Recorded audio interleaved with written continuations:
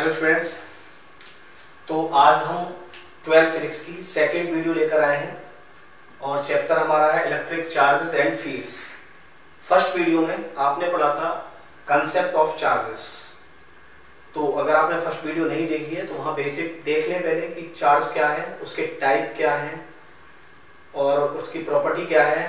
After that charging क्या होती है? कंडक्टर इंसुलेटर ये हमने फ़र्स्ट वीडियो में आपको अपलोड कर दिया है। आफ्टर दैट हम सेकंड वीडियो लेकर आए हैं इसका। और जैसा कि हम बता रहे थे तो आज सेकंड वीडियो जो स्टार्ट करेंगे, वो हम करेंगे कुलाम्स लॉ से।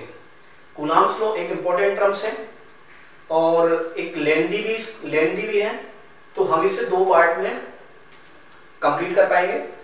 तो आप देखिए, और इसके, इसमें अच्छे अच्छे क्वेश्चन और न्यूमेरिकल्स आपको हम दिखाएँगे। तो स्टार्ट करते हैं आज का video and second is that is Coulomb's law okay तो यहाँ पढ़ते हैं Coulomb's law.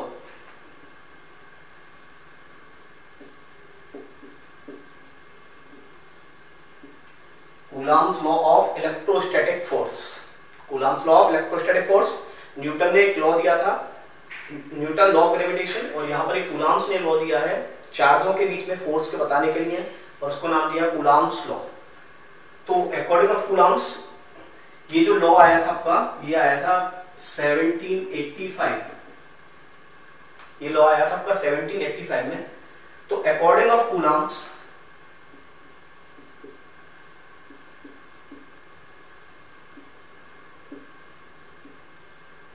according to coulombs if two charges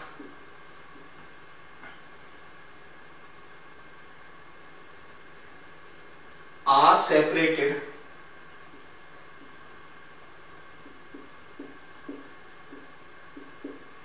with a small distance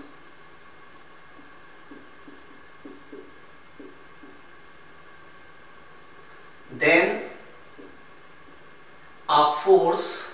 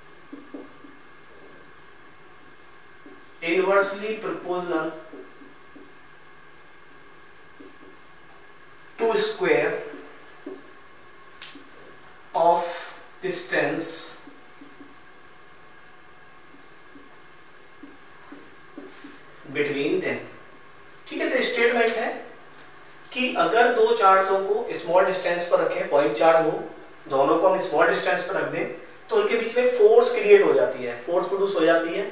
और अगर हम उस फोर्स का मैग्नीट्यूड चाहते हैं तो हम क्या करते हैं कि जो प्रोडक्ट है चार्जों का, यानी अगर सपोज़ करो कि यहाँ पर एक Q1 चार्ज है और यहाँ पर एक Q2 चार्ज है और हम बोले कि इन दोनों के बीच की जो डिस्टेंस आर है तो इन दोनों के बीच एक फोर्स क्रिएट हो जाएगी।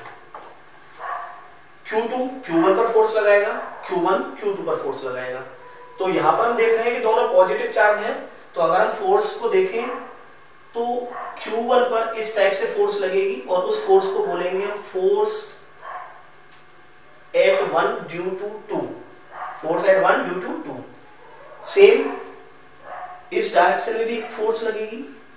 Force on two due to one आप समझ रहे फोर्स वन टू का क्या मतलब होता है? फोर्स वन टू इसका मतलब होता है force at one due to two ठीक है? और इसका क्या मतलब होता है? इसका मीन्स होता है force at two due to one इन दोनों के बीच फोर्स होगी। तो हमसे बोला कि इस फोर्स का मैग्नीट्यूड क्या होगा? तो उन्होंने बताया कि ये फोर्स जो है, इन दोनों चार्जों के प्रोडक्ट के डायरेक्टली प्रोपोर्शनल ठीक है? तो हम लिख सकते हैं कि जो फोर्स है, वो डायरेक्टली प्रोपोर्शनल है product of Q1 Q2 this is first equation. And inversely proportional to the square of distance between them so we can write it F equals बल by R square this is the second equation by first and second by first and second we can write F proportional Q one Q two by R square proportional का साइनेट आना है equals लेकर आएँगे और यहाँ पर एक कॉन्स्टेंट रखेंगे that is K k q1 q2 by r square. Here k is the constant and k is equals to 1 upon 4 by epsilon naught. Reality में तो एप्सिलॉन होना चाहिए, क्योंकि ये परमिटिविटी ऑफ़ मीडियम है। लेकिन हम जो फोर्स फाइंड कर रहे हैं, ये एयर या वैक्यूम में कर रहे हैं तो हम इसको एप्सिलॉन नॉट लिख रहे हैं। तो यहाँ पर हम पढ़ सकते हैं कि एप्सिलॉन नॉट क्या है? ये है परमिटिविटी ऑफ़ फ्री स्पेस ठीक है? Epsilon naught permittivity of free space clear हो गया? एप्सिलॉन नॉट की वैल्यू होती है, अगर हम यहाँ रखें तो अगर हम बोले कि के की क्या वैल्यू है तो के की हम एक एक्चुअल वैल्यू ले सकते हैं। k is equal to one upon four pi epsilon naught और इसकी वैल्यू होगी nine into ten to the power nine Newton metre square per coulomb square Newton metre square per coulomb square. और केवल अगर epsilon naught की value की need पड़े तो हम लिख सकते हैं 8.85 point eight five to the power minus twelve ठीक है? तो ये चीज़ क्लियर है?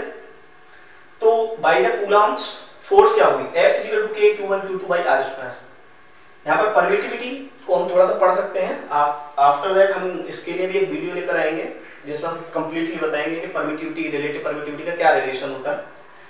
तो परमिटिविटी का मतलब होता है परमिशन देना। ठीक है? परमिशन देना। लेकिन यहाँ पर हम देख चेक कर रहे हैं कि जो फॉर्मूला है हमारा, वो ये है। F is equal to one upon four by epsilon naught Q one Q two by R square तो आप चेक कर पा रहे हो कि यहाँ पर एप्साइलन नॉट इनवर्सली है। इसका मतलब जैसे ही एप्साइलन नॉट बढ़ेगा फोर्स कम होगी। Epsilon naught increase force decrease इसका मतलब परमिशन दे रहा है?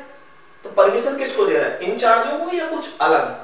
तो इसका मतलब होता है कि ये मीडियम की प्रॉपर्टी है। सबसे पहले तो याद रखें this is the property of medium ये मीडियम के चार्जों को अपनी परमिशन दे रहा है कि जाइए और इन दोनों चार्ज के बीच की फोर्स को डिक्रीज कीजिए। कभी भी ये मत समझना कि ये इन चार्जों को, इन चार्जों को परमिशन दे रहा है कि इंक्रीज डिक्रीज नहीं। ये अपने पार्टिकल को परमिशन दे रहा है कि जाइए इन दोनों चार्जों के बीच की फोर्स को डिक्रीज करिए, क्योंकि ये इनवर्सली प्रपोजनल है। तो क्लियर हो गया होगा ये? तो कूलम्स लॉ क्या है? कूलम्स लॉ है F equal to 1 upon 4 pi epsilon naught Q1 Q2 by R square clear है? अच्छा जी। या कूलम्स लॉ वैलिड कहाँ कहाँ है? हमें ये भी ध्यान रखना है कि हर जगह वैलिड नहीं होता। इसको देखना है तो वैलिड के लिए हमें प्रॉपर्टी पढ़नी पड़ेगी इसकी। तो हम मैं बताता हूँ वैलिड पहला पे से नोट कर लीजिए। ये ओनली स्टेटमेंट्स हैं, बाकी डेरिवेशंस करना है तो ये सिंपल से डेरिवेशन है इसका। सब चीज़ क्लियर हो गई होंगी आपकी। ठीक है? तो इस तरफ़ कर देता हूँ। तो ओके कुलाम्स लो आपको पता चल गया क्या होता है कुलाम्स लो यहाँ लिख लेते हैं। कुलाम्स लो फोर्स को बताता है, वो बताता है इज़ इक्वल टू या तो आप लिख लीजिए कि Q1 Q2 by are square और या फिर हम इसको ये भी कर सकते हैं one upon four by epsilon naught Q1 Q2 by R square clear अब हम ये पढ़ते हैं कि कुलाम्स लॉ कहाँ कहाँ पर यूजफुल होता है। तो फ़र्स्ट कंडीशन कि it is valid for point charge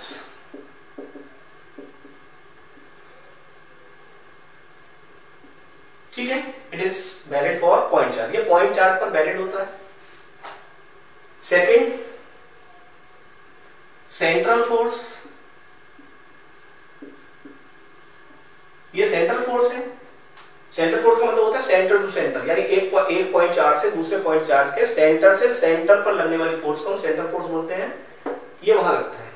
इसका मतलब है कि जो आर हम लेते हैं, वो कहाँ से लेनी है? फ़र्स्ट चार्ज के सेंटर से सेकंड चार्ज के सेंटर तक। थर्ड एक्शन रिएक्शन पेयर बनाता है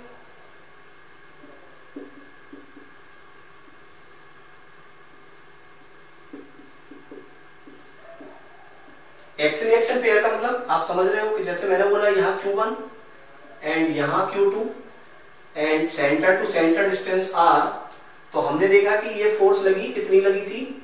F12 ठीक है? और इस फोर्स की बात करें तो ये कितनी आई थी? ये आई थी F21 ठीक है? तो हम कह सकते हैं कि magnitude of one two is equal to magnitude of two one ये क्लियर है? और इक्वल अपोजिट फोर्स लगती है, या फिर हम बोल सकते हैं एफ़ वन टू इक्वल है माइनस एफ़ टू वन के। ठीक है? X reaction pair equal and opposite force point charge central force है। ये चीज़ क्लियर हो गई। ठीक है? अब क्या होता है कि इन चीज़ों से पढ़कर एक क्वेश्चन आया, एक बच्चा था, उसने क्वेश्चन बनाया कि सपोज़ करो, सर, ये Q1 चार्ज है, ये Q2 चार्ज है ठीक है? इन दोनों के बीच डिस्टेंस आर है। इसको हम ये रेस्ट पर थे। हमने इनको रिलीज़ किया। तो ये ऐसे मूव करा और ये ऐसे मूव करा। आपसे पूछा what is the force between them ठीक। तो बच्चे की प्रॉपर्टी सही थी। पॉइंट चार्ज है सेंट्रल फोर्स है। क्लियर एक्शन रिएक्शन पेयर बन रहे हैं। इक्वल एंड अपोजिट डायरेक्शन में जा रहे हैं। तो इनके बीच फोर्स क्या होगी? क्या फोर्स इनके बीच यही होगी के Q one Q two by R square इनके बीच ये फोर्स नहीं होगी। इनके जो बीच फोर्स आई है, वो आई है ज़ीरो इसका मतलब है कि इसमें कोई और प्रॉपर्टी भी है अभी? तो इसके अंदर की प्रॉपर्टी को पढ़ते हैं कि this force act on line joining ये बहुत ही इंपॉर्टेंट टर्म से आपको याद रखना है। This force acts on line joining note कर लीजिए इसको भी। This force acts on line joining clear हो रहा है ये लाइन ज्वाइनिंग फोर्स है। ठीक है? लाइन ज्वाइनिंग पर वर्क करेगी। ऐसा नहीं है। ये ऐसे चला जाए, ऐसे चला जाए।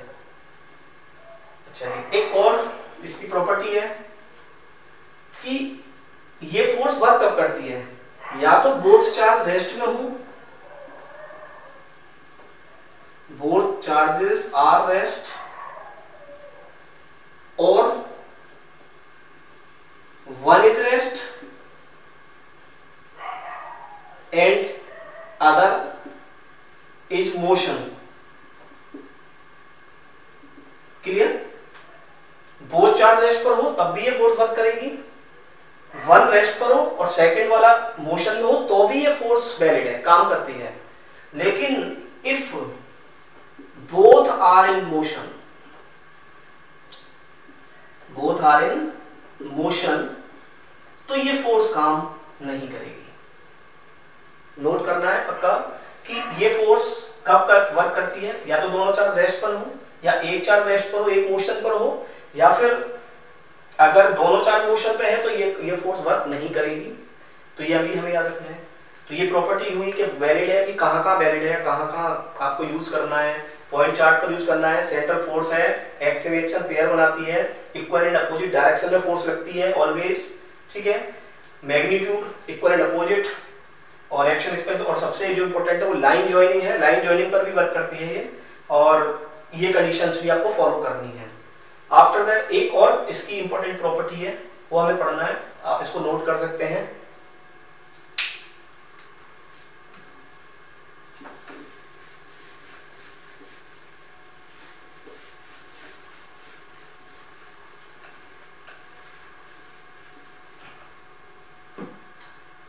सपोज़ करो कि यहाँ पर Q1 चार्ज है और यहाँ पर Q2 चार्ज है।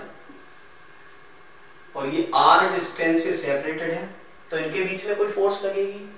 कूलाम्स के अकॉर्डिंग तो इनके बीच में जो फोर्स आई, वो कौन सी आई? वो आई कूलाम्स लो के according F is equal to K Q1 Q2 by R square suppose करो एक Q थर्ड चार्ज हो रहा गया, जो इससे भी R डिस्टेंस दूर है और इससे भी R डिस्टेंस दूर है। अब पूछा कि इन दोनों के बीच जो फोर्स है, उस फोर्स पर कोई इफ़ेक्ट पड़ेगा या नहीं पड़ेगा? आ रहे समझ दो चार्ज थे, दोनों के बीच एक फोर्स लग रही थी। किसी अदर चार्ज के आने से इन दोनों चार्जों के बीच की फोर्स पर कोई इफ़ेक्ट पड़ेगा या नहीं पड़ेगा? तो इसका आंसर है कि इन दोनों चार्ज के बीच की फोर्स पर कोई इफ़ेक्ट नहीं पड़ेगा बट नेट फोर्स चेंज हो जाएगी। क्लियर तो इस प्रॉपर्टी को बोलते हैं कि हम प्रीसेंस और absence any other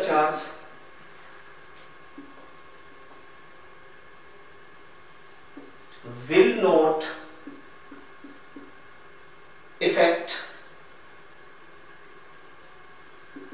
on force of between two charges but net force will change समझ में आ रहा है पक्का कि इन दो फोर्सों के बीच इन दो चार्जों के बीच की फोर्स पर तो कोई इफ़ेक्ट नहीं पड़ा लेकिन नेट फोर्स चेंज हो गई अगर हम इस सिस्टम की नेट फोर्स निकालेंगे तो वो कुछ अलग होगी क्योंकि इसके इसके कारण भी इस पर फोर्स होगी और इसके कारण भी इस पर फोर्स होगी। तो नेट फोर्स निकालेंगे तो नेट फोर्स अलग आएगी, लेकिन इन दोनों चार्जों के बीच की फोर्स पर कोई इफ़ेक्ट नहीं पड़ेगा। ये भी एक कूलाम स्लो में पढ़ना होता है तो ये क्लियर हो गया होगा प्रीसेंस और absence of any other charge will not affect the force between two charges but the net force will change clear है ये चीज़? ठीक है। अब आगे बढ़ते हैं इससे। ठीक है तो ये गुलाम स्लो था। और गुलाम स्लो का हमने पढ़ा कि F is equal to K Q one Q two by R square clear है? अब कूलाम स्लो के आप सिंपल से आप नोमेरिकल्स करो कि एक चार्ज टू कूलाम दूसरा charge four coulomb distance one metre तो what is the value of force तो ये क्वेश्चन आप निकाल सकते हो। जैसे टाइम पास कोर्स ठीक है? टाइम पास क्वेश्चन होंगे ये। कि चार्ज दे रखे हैं डिस्टेंस दे दे तो फोर्स निकाल सकते हो, या चार्ज एक एक चार्ज दे दे फोर्स दे दे डिस्टेंस दे दे तो सेकंड को निकाल सकते हो फोर्स डिस्टेंस दे दे चार्जों को निकाल सकते हो, ठीक है? तो ये सिंपल क्वेश्चन है, आप इजीली कर सकते हो। हम थोड़े थोड़े और अलग क्वेश्चंस करते हैं इसमें। जैसे सपोज़ करो एक क्वेश्चन है हमारा, कि what is the minimum force between two charges when they are separated with a small distance one metre चलो जी डिस्टेंस दे दीजिए वन मीटर तो ये पूछ रहा है what is the minimum force between two charges when they are separated with small distance 1 metre दो चार्जों के बीच में हमें मिनिमम फोर्स निकालनी है, यानी उससे मिनिमम हो नहीं सकती है। ठीक है? जब उनकी डिस्टेंस 1 मीटर हो तो इसका आंसर क्या होना चाहिए? ठीक है, बच्चे अब सोचते हैं कि इसका आंसर क्या होगा? चार्ज की जगह पर क्या रखें? वन कूलाम रखें। तो वन कूलाम रखोगे तो बहुत बड़ी फोर्स बनेगी। सिंपल सा मतलब है, देखो, अगर सपोज़ करो आप मान रहे हो कि Q1 और Q2 क्या है? वन कूलम आर क्या है? One metre. तो इनके बीच अगर आप फोर्स कैलकुलेट करोगे तो आपकी फोर्स आएगी F is equal to K Q one Q two by R square K की value nine into ten to the power nine into one into one and into one square तो then the force is nine into ten to the power nine newton ये बहुत बड़ी force है तो। तो हम अब इन चार्जों की वैल्यू क्या रखें? क्वेश्चन ये है कि चार्जों की वैल्यू क्या रखनी चाहिए? तो अगर आपको याद हो तो मैंने पढ़ाया कि सबसे स्मॉलेस्ट जो चार्ज होता है वो इलेक्ट्रॉन होता है, उससे छोटा कोई चार्ज नहीं है। तो बहुत सिंपल सा क्वेश्चन था ये, और इसका आंसर भी बहुत सिंपल है कि हमें दो इलेक्ट्रॉनों के बीच में फोर्स लगानी है। उससे मिनिमम फोर्स कहीं नहीं हो सकती है फिर। तो इसका आंसर क्या होगा? इसका आंसर होगा बहुत सिंपल कि F is equal to K charge of electron E मान लीजिए E into E E square upon one square तो it's answer is F is equal to K E square ये जेई में आया हुआ क्वेश्चन है। कि what is the minimum force between two charges when they are separated with small distance 1 metre simple question clear है? आगे बढ़ते हैं इसमें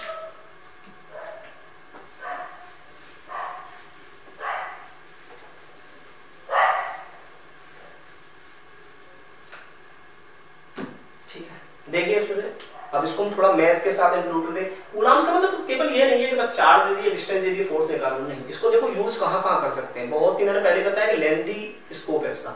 तो देखिए सपोज़ करो एक क्वेश्चन लेते हैं फिर हम। देखिए। यहाँ पर वन कूलाम चार्ज है। वन मीटर पर भी वन कूलाम चार्ज है। टू मीटर पर एट कूलाम चार्ज है। थ्री मीटर पर ट्वेंटी सेवन कूलाम चार्ज है। सो ऑन ये टेन मीटर तक है। और यहाँ पर आपका वन थाउज़ेंड कूलाम चार्ज है। आपसे पूछा what is the net force at O तो आपको फाइंड करना है find net force at O point कैसे सोल्व करेंगे? बहुत सिंपल है। देखो, सभी चार्जों में, सभी जो चार्ज हैं, ये एक ही लाइन ज्वाइनिंग पर है। तो फोर्स में डायरेक्शन की कोई प्रॉब्लम नहीं है। सिंपली ऐड कर देंगे। Force vector quantity direction follow करेगी। तो यहाँ डायरेक्शन की कोई प्रॉब्लम नहीं है। हमें सिंपली ऐड करेंगे। तो एक तो फोर्स इन दोनों के बीच, एक इसके बीच, एक इसके बीच, ऐसी टेन तक फोर्स जा रही है। तो हम पहले F1 निकाल लें तो F1 क्या होगा? K one into one into one square then is K तो F1 के हो अच्छा इसकी बात करें सेकंड वाले की तो ये हो गया आपका k into one into eight और डिस्टेंस कितनी है यहाँ तक? Two then two square is two four four two जा एट इसका मतलब ये जो फोर्स है वो हो गई टू के थर्ड निकालना चाहो थर्ड भी निकाल लीजिए ऐसे क्या लिखोगे? K one into twenty seven upon यहाँ तक डिस्टेंस कितनी है? Three so three square three square कितना होता है नाइन और nine three twenty seven so this force is three K F net निकालना है। तो एफ़ नेट निकालना है तो आपको पता है सिंपली ऐड कर देंगे हम। F one F two F three so on कहाँ तक ऐड करना है? एफ़ टेन तक ऐड करना है। ठीक है? एफ़ टेन तक ऐड करेंगे। तो हम लिख सकते हैं इसे कि F net is equal to K plus two K plus three K so on ten के को कॉमन कर लें। यहाँ बचा one plus two plus three so on ten क्या ये सीरीज़ आपने मैथ में पढ़ी है? ये मैथ की सीरीज़ है, आपको पता होगा। मैथ में सीरीज़ इलेवेंथ में पढ़ा होगा आपने।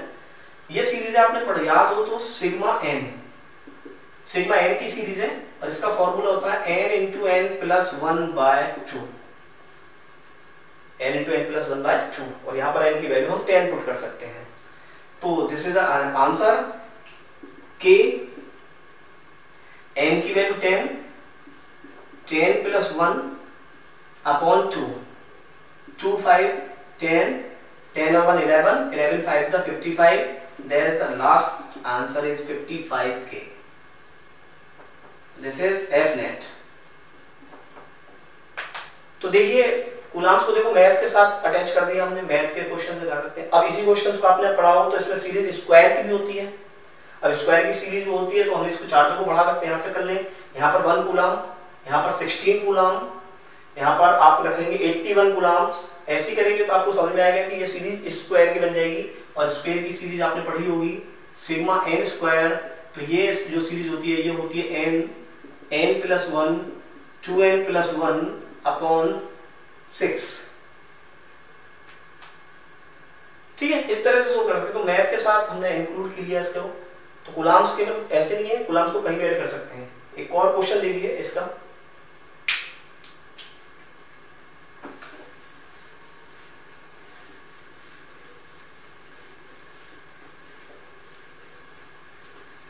देखिए मैथ के साथ ही फिर इंक्लूड करते हैं इसे हम। और इस बार जो सीरीज़ है कुछ इस तरह से बनाएँगे। कि ओ पॉइंट पर वन कूलाम वन मीटर पर वन कूलाम टू मीटर पर minus two coulomb three metre पर थ्री कूलाम और ये सीरीज़ इंफिनिटी तक है हमारी। ठीक है अब पूछा बताइए एफ़ नेट क्या होगा? एट ओ तो क्वेश्चंस वही है find F net at O वही प्रोसेस करनी पड़ेगी हमें। अगर हम F1 की बात करें तो F1 क्या आएगा यहाँ पर? F1 आएगा आपका, देखिए K one into one into one square that is K अगर F2 की बात करें तो F2 आएगा आपका K into one into two minus ठीक है माइनस का साइन है, और एट इज़ टू स्क्वायर तो two one square cancel that the answer is minus K by two next K into one into three into three square तो यहाँ पर हम देखते हैं कि आंसर आ रहा है के बाई थ्री और कहाँ तक है ये? इंफिनिटी तक है। तो हम लिख सकते हैं कि जो एफ़ नेट आया, वो आया F one plus F two plus F three so on infinity तक। तो दिस सीरीज़ इज़ के अगर हम कॉमन ले लें तो ये बनेगी one minus one by two plus one by three so on infinity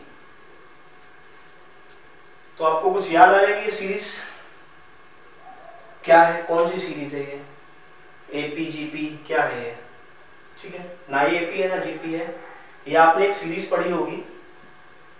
log one plus x अगर आपने ये सीरीज़ पढ़ी है तो आप इसको कर सकते हैं। लॉग वन प्लस एक्स की सीरीज़ है ये।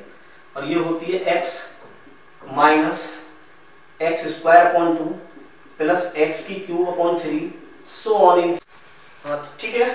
तो यहाँ तक लॉग हमने देखा कि लॉग वन प्लस एक्स की सीरीज़ है, और ये होती है X minus X square upon two plus X की cube upon three so on infinity यहाँ पर अगर हम एक्स की वैल्यू वन पुट करते हैं तो आप चेक कर सकते हो कि log one plus one is equal to one minus one by two plus one by three so on infinity देखिए, यही है। तो हमें पता चल गया कि ये किसकी सीरीज़ थी? ये थी log वन प्लस एक्स और x की जगह पर क्या पुट करना है? वन तो इसका मतलब ये क्या हो गया? log टू और k आपका साथ है तो इसका मतलब f नेट जो आया आपका, वो आया k log टू ठीक है तो मैथ के साथ देखो हमने इसके क्वेश्चंस किए कुलाम्स के। तो मैथ के साथ हम इसे इन्वॉल्व कर सकते हैं। आगे देखते हैं देखो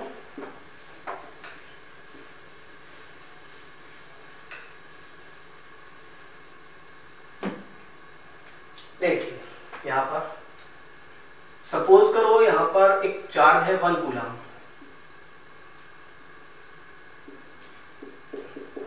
और यहाँ पर एक चार्ज है टू कूलाम इसका मास मान लीजिए वन के जी इसका मास मान लीजिए two kg both are rest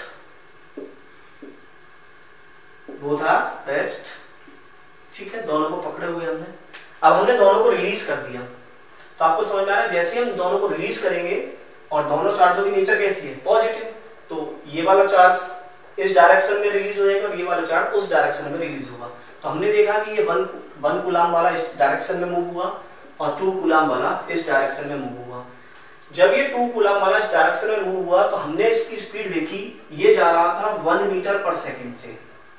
ठीक है? इसकी जो स्पीड थी, वो थी वन मीटर पर सेकेंड आपसे पूछा, बताइए इसकी स्पीड क्या होगी? क्वेश्चन क्लियर हो गया होगा। दो चार्ज थे, दोनों रेस्ट पर थे। पकड़ा हुआ था हमने। One coulomb two coulomb one kg two के जी इनका मास था। हमने इन दोनों को रिलीज़ किया। तो पॉजिटिव नेचर सेम नेचर होने की वजह से दोनों अपोजिट डायरेक्शन में रिलीज़ हुए। तो जब हमने इसकी स्पीड को चेक करा तो ये थी वन मीटर पर सेकेंड और आपसे पूछा कि इसकी स्पीड क्या होगी। तो बहुत सिंपल है, हमने कंजर्वेशन पढ़ा हुआ है। भाई सिस्टम कंजर्वेटिव है। कंजर्वेटिव में तो हम बहुत सिंपल लगा सकते हैं कि m1 u1 plus m2 u2 is equal to m1 v1 plus m2 v2 ये आपने पढ़ी हुई इक्वेशन तो u1 और u2 क्या होते हैं? इनिशियल इनिशियल तो ये रेस्ट पर थे तो दिस पार्ट इज़ ज़ीरो अब आपके पास बचा m1 v1 plus m2 v2 अब आप इसे इजीली सोल्व कर सकते हो।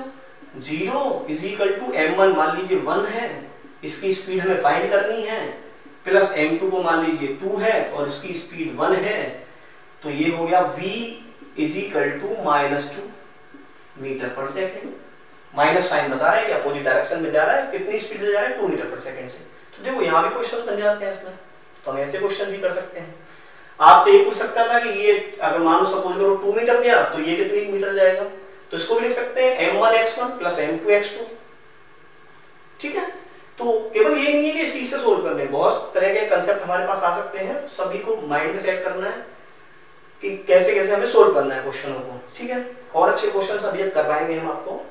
तो ये आपको क्लियर हो गया होगा। डिस्टेंस भी निकालना हो तो आप कर सकते हैं M one X one plus M two X two ठीक है रफ करते हैं इसे। आगे बढ़ते हैं।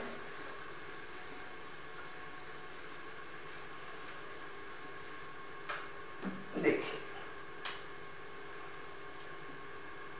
अब इसको काइनेमेटिक्स के साथ और इन्वॉल्व कर लेते हैं। एक चार्ज है Q1 और एक चार्ज है Q2 दोनों के बीच डिस्टेंस मान लीजिए आर है और दोनों है रेस्ट पर। ठीक है? दोनों ही रेस्ट पर है। ओके अब इनको रिलीज़ करेंगे तो हमें पता चल रहा है कि ये मूव करेगा। तो हमने इस बार दोनों को रिलीज़ नहीं किया, हमने केवल इसको रिलीज़ किया है। ठीक है? तो इसको हमने क्या कर दिया? रिलीज़ रिलीज़ करने पर हमें पता है कि ये यहाँ से ऐसे मूव करेगा। ठीक है? तो हमसे पूछा इस डिस्टेंस को आर वन मान लीजिए कि आर टू डिस्टेंस पर जाकर इसकी स्पीड क्या होगी? क्वेश्चंस क्लियर हो गए? दोबारा समझ लीजिए। Q1 Q2 दो चार्जेस थे, जो R1 डिस्टेंस से सेपरेटेड थे, दोनों रेस्ट पर थे। हमने Q2 को रिलीज़ कर दिया। अब Q2 को रिलीज़ करने पर Q2 इस डायरेक्शन में मूव करेगा। तो हमसे पूछा है कि R2 डिस्टेंस जाने के बाद इसकी स्पीड क्या होगी? अब कैसे निकालेंगे ठीक है? तो देखिए इसमें भी काइनेमेटिक्स लगाना है हमें कुछ नहीं करना हम क्या फाइंड कर सकते हैं? हम फाइंड कर सकते हैं कि हम एक्स पर जाकर इनके बीच की फोर्स फाइंड कर सकते हैं। तो एक्स पर जाकर इनके बीच फोर्स फाइंड करोगे तो क्या लिखोगे? F is equal to K Q one Q two by X square F is equal to K Q one Q two by X square clear अच्छा। एफ़ को हम क्या लिख सकते हैं? M A equal to K Q one Q two by X square M को उधर ले जाइए एक्सीलरेशन आ जाएगा तो K one Q two by M X square अच्छा एक्सीलरेशन को क्या हम वेलोसिटी में लिख सकते हैं? हाँ लिख सकते हैं एक्सीलरेशन वेलोसिटी में। तो एक्सीलरेशन को वेलोसिटी में लिखने का पास दो टर्म्स होते हैं कि अगर एक्सीलरेशन को टाइम के टर्म्स में लिखना है तो डी लिखते हैं। और अगर हम x के टर्म्स में लिखना हो तो हम लिखते हैं a is equal to V D V by D X तो यहाँ देखिए x का टर्म्स है तो हम इसको लिख सकते हैं a को v D V by D X तो यहाँ लिख लीजिए आप इसको V Y D X is equal to K Q one Q two by M X square dx को इधर ले जाए तो हम लिख सकते हैं V is equal to Q one Q two by M X square into D X क्या हम इंटीग्रेशन कर सकते हैं? यस कहाँ तक करना है? ज़ीरो से लेकर वी तक करना है। फ़ी फाइंड करना है। कहाँ से कहाँ तक जाएगा ये? आपको समझ में आ रहा है? तो ये R1 से लेकर R2 तक होगा। सिंपल इंटीग्रेशन कर दीजिए। तो v का इंटीग्रेशन क्या होगा? V स्क्वायर बाई टू यहाँ पर कांस्टेंट टर्म क्या क्या है? K कांस्टेंट है q1 q2 कांस्टेंट है, m कांस्टेंट है, केवल हमारे पास बचा one upon X square dx और यहाँ लिख लीजिए r1 से r2 one upon X square का इंटीग्रेशन क्या होता है? माइनस वन अपॉन एक्स पता हो आपको इंटीग्रेशन इंटीग्रेशन का क्या फॉर्मूला होता है? कि x की n इंटीग्रेशन ऑफ़ dx तो हम इसको करते हैं x की n plus one upon N plus one तो x स्क्वायर है, x स्क्वायर को आप x की माइनस टू डी लिख लीजिए। इसका कर दीजिए इंटीग्रेशन तो आप करोगे x की minus two plus one upon minus two plus one तो यहाँ पर हम चेक करेंगे कि x minus one upon minus one so minus one upon X तो ये क्लियर हो गया होगा। तो वन अपॉन एक्स स्क्वायर का इंटीग्रेशन होता है माइनस वन अपॉन एक्स और लिमिट है आपकी आर वन से लेकर आर टू तक। ठीक है? तो V square by two K Q one Q two by M upon M और one upon X square D X इसका हमें इंटीग्रेशन करना है। इंटीग्रेशन अगर बताया इसका माइनस वन अपॉन एक्स आएगा। तो हम लिख सकते हैं V square by two K Q one Q two by M into minus minus आगे माइनस लगा लीजिए इसमें। माइनस वन बाई एक्स और लिमिट लगा दीजिए आर वन से लेकर आर टू तक। क्लियर है? इसको यहाँ साइड सर्फ कर लेते हैं।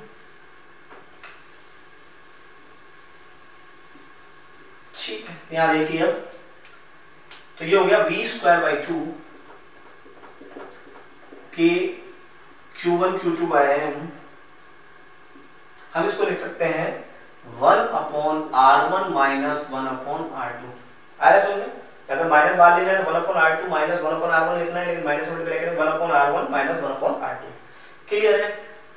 हमें v फाइंड करना था, इसको टू को इधर ले जाए। तो v square is equal to two K Q one Q two M इसको भी सोल्व कर लीजिए R two minus R one upon R one R two तो v is equal to root two K Q one Q two by M and R two minus R one upon R one R two clear तो ये velocity होगी। हमसे यही पूछा था कि इसकी वेलोसिटी आर टू पर जाकर क्या होगी? तो इसकी वेलोसिटी ये मिलेगी v Q two M R two minus R one upon R one R two तो ये काइनेमेटिक्स है। आप देख सकते हैं काइनेमेटिक्स का प्रोसेस आ गया यहाँ पर हमारा। तो नंबर ऑफ़ क्वेश्चंस बनते हैं इसमें, ठीक है? और देखिए, एक और क्वेश्चन कराते हैं इसमें भी